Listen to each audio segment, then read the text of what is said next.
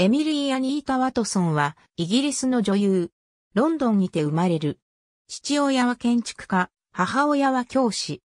ブリーストル大学で英文学を学び、卒業後は事務員やウェイトレスなどで働きながらドラマスタジオロンドンで演劇を学んだ。1995年に俳優のジャック・ウォーターズと結婚。2005年11月に長女を出産。アーセナルのサポーター。1992年にロイヤル・シェイクスピア・カンパニーに所属。主に舞台に立っていたが、ラース・フォントリアー監督に起用され、1996年公開の奇跡の海で映画デビューする。この作品で無垢な主人公を演じて、強烈な印象を残して話題になった。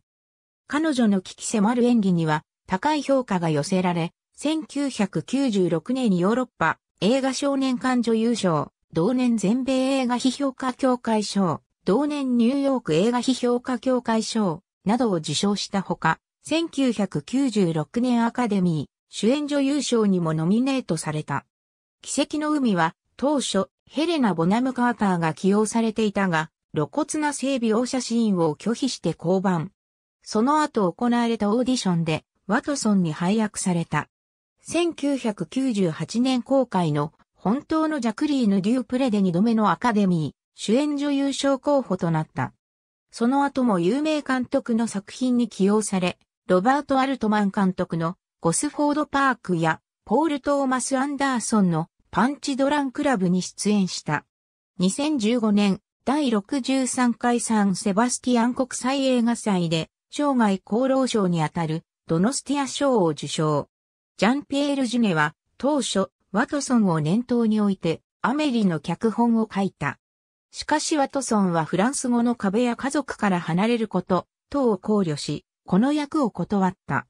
アメリはフランス人女優オドレート・トゥが演じて彼女の代表作となった。また、シェカール・カブールのエリザベスの主演候補でもあったが、この役はケイト・ブランシェットが演じている。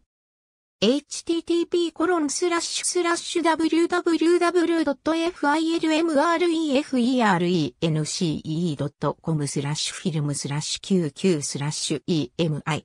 ダッシュ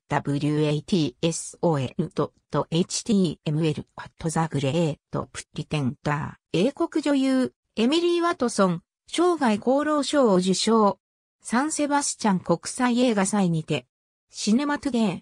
2015年10月6日閲覧。アメリーディレクター、ジーン、ピエール・ジアネ、ジュベドラ・ユーヌ・オスカー・ジャッキー、セスプ・セッツ・シーズノー・エリザベス。ありがとうございます。